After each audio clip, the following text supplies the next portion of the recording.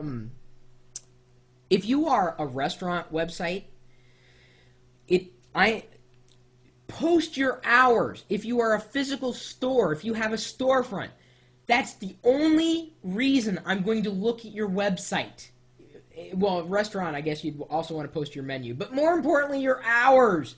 I can't tell you how many restaurant websites I've been to where I'm like, are they open? Or even storefront. Are they open? I don't know. Just post your hours, man. Come on. It just you're that's all we ask. I mean, we ask a little bit more than that, but I'm saying just the basic level.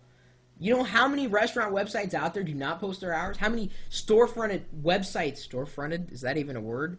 Uh, regardless, I think you know what I'm talking about.